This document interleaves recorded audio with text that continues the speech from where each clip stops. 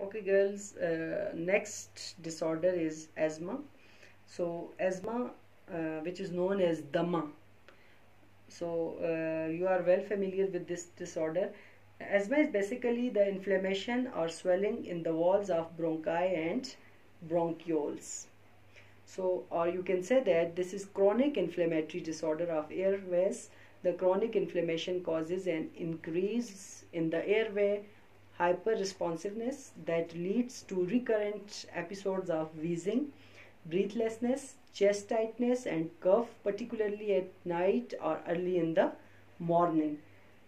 Uh, during an attack of asthma, the walls of bronchi and bronchioles they swell and their inner passageway it is reduced so this passageway it is reduced if we compare this passageway to this that is normal lining, normal amount of mucus but here in case the swollen lining is there, uh, lining is there and the excess mu mucus it is accumulated inside the passageway. So muscles they got tightened and here the muscles are relaxed. So this is the inflammatory condition in which the walls of bronchi and bronchioles they got swollen.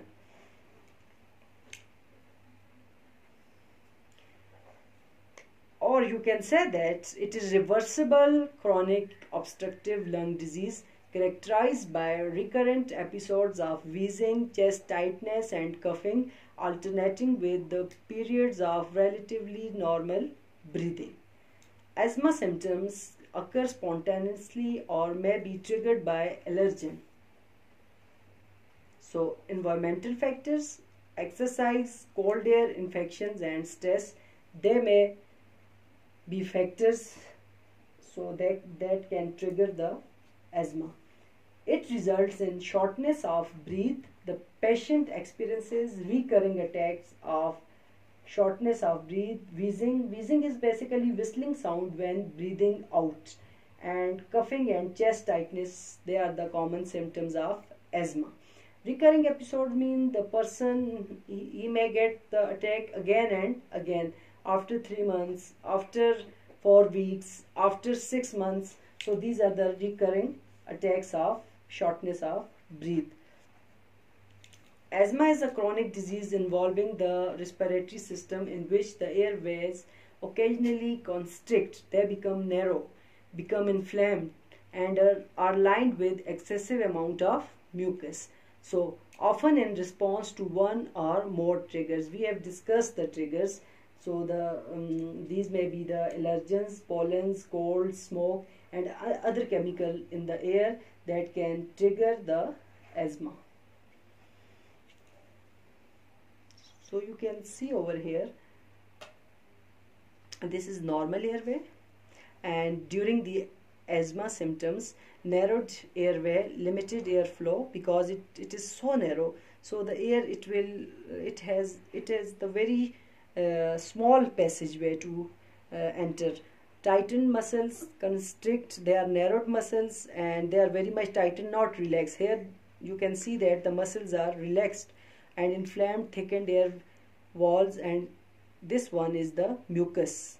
So the mucus that is very much thick here you can see the muscles and the airway the size that is very large size and here the size is very much reduced very small size for the inhalation of air. So classification. If we classified the uh, asthma. Asthma as it is a complex disorder of the conducting airways that most simply can be classified as extrinsic and intrinsic. So when the cause, cause is external, implying a definite external cause. This is the extrin extrinsic asthma and intrinsic when no causative agent can be identified. Some internal cause, so this is known as intrinsic.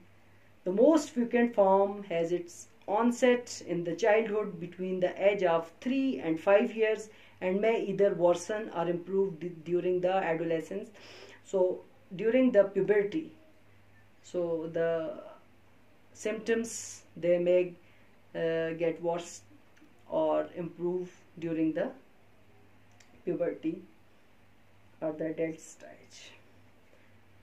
Asthma as it is the chronic inflammatory disease of airway that causes the airway hyperresponsiveness mucosal edema. Edema is the inflammation and redness and mucus production. So it is characterized by the chronic ear inflammation and increased airway hyperresponsiveness leading to symptoms of wheeze. Whistling sound is produced cough chest tightness and shortness of breathing or dyspnea.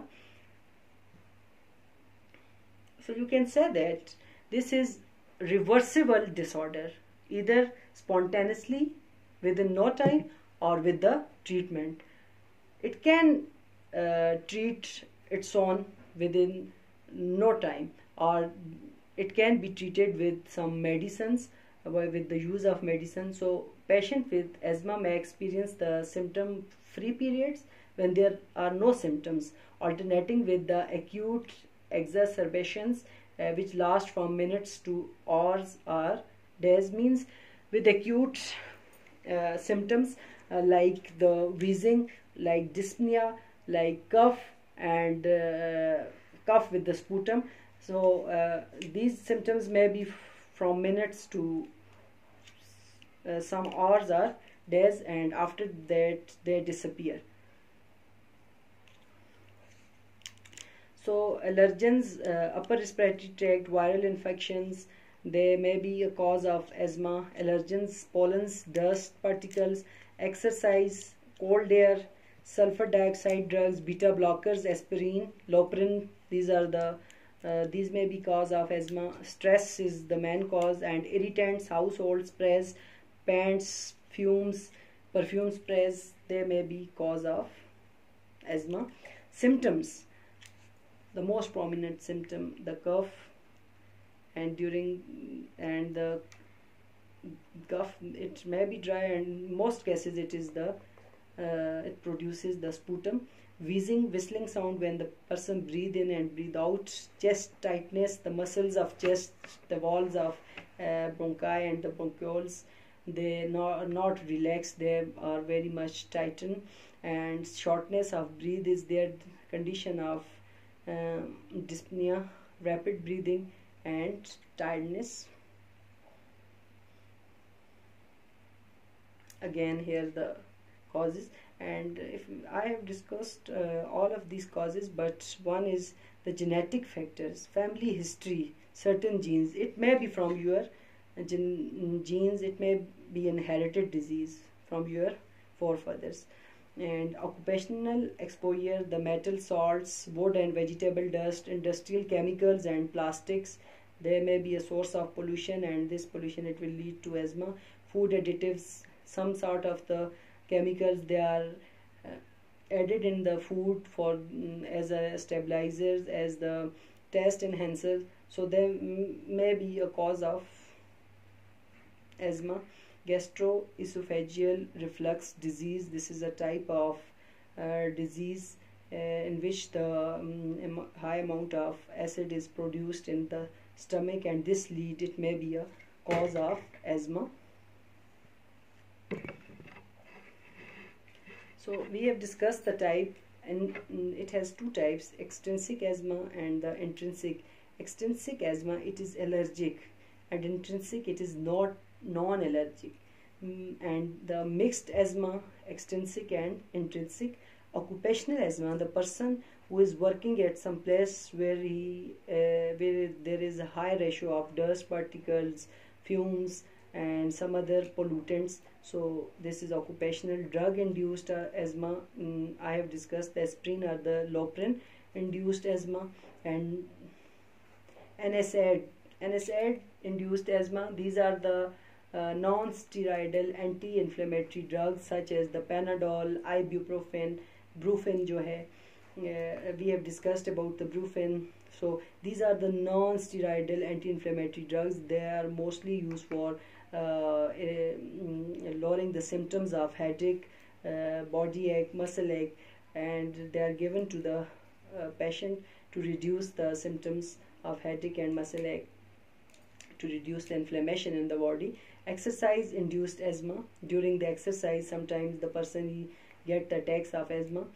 Cough variant asthma and very common especially in children. Cough variant mean different type of cough they have been observed in the children. Again exhaust fumes perfumes oxidants and cigarette smoke. These may be the air pollutants.